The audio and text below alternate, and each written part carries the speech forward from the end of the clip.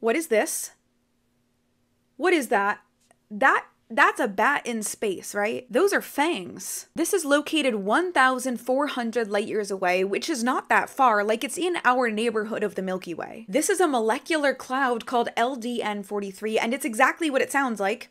It's a space cloud, and it's very dense, especially this one, which is so dense that it's blocking the light from all of the stars behind it. It's also huge. This thing is 12 light years long, which is three times longer than our closest star is to us. That is a really big bat. The best part is that she's a mother. The gas here is so dense that gravity takes over and it collapses and forms stars, and around them, planets and moons, which means there are bat baby stars, and those baby stars are what's illuminating it from within, which is kind of poetic. Now, this is how we formed too. We also collapsed from a cloud, and I need to know what our cloud looked like. Was our cloud this cool?